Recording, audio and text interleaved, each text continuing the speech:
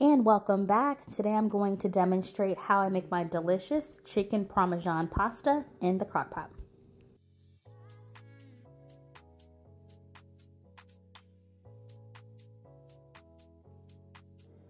I have some chicken tenderloins, but feel free just to use regular chicken breast. I just already had these thawed, so this is what we'll use today. We'll end up doing one tablespoon of each of these except for the parsley. The parsley will be two tablespoons.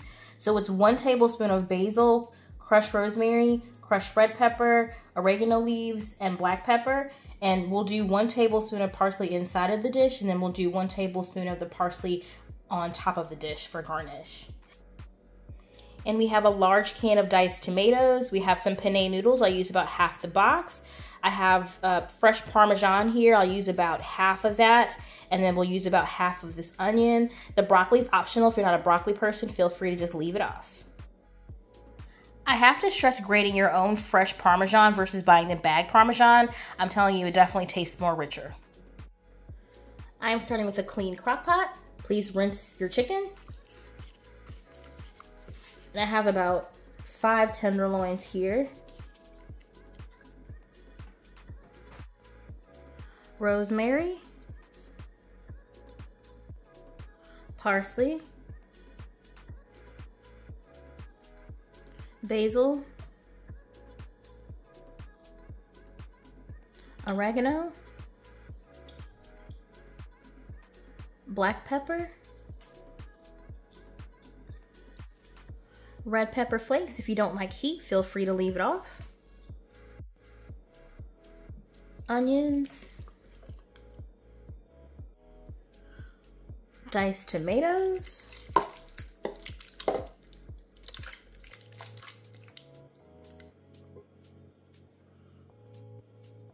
And throw in about a half a cup of water. You can just use the can to do that.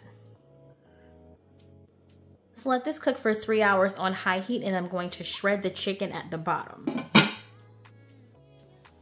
Boil your noodles. Shredded Parmesan.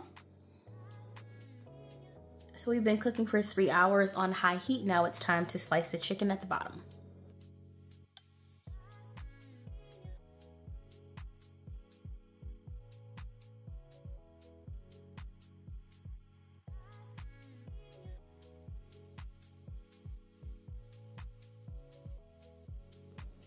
Time to pour in the noodles. Pour in the broccoli. We'll give this a nice stir.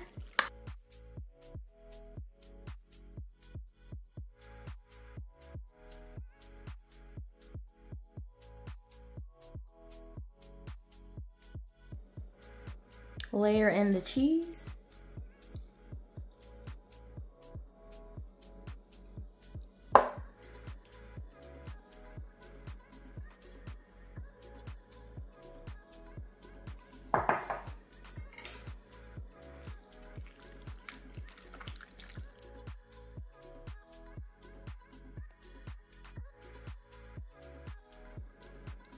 Layer in some more cheese.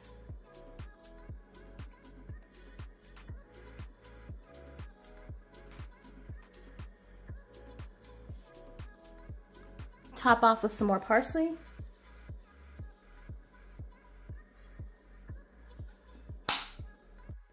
I'm putting this back on high heat for one hour and we should be done after that.